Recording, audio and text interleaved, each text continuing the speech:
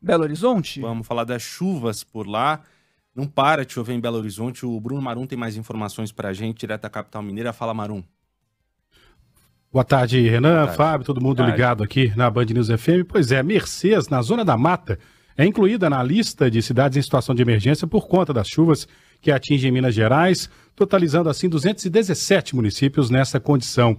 O boletim divulgado hoje pela Defesa Civil Estadual ainda informa 2.007 desabrigados mais de 11 mil desalojados em decorrência dos temporais.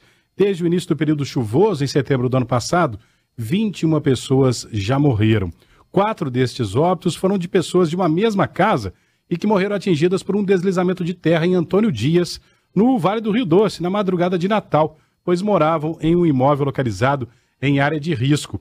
Essa informação consta em um relatório do Serviço Geológico do Brasil, que ainda revela que as chuvas intensas e a inclinação do terreno contribuíram para a tragédia.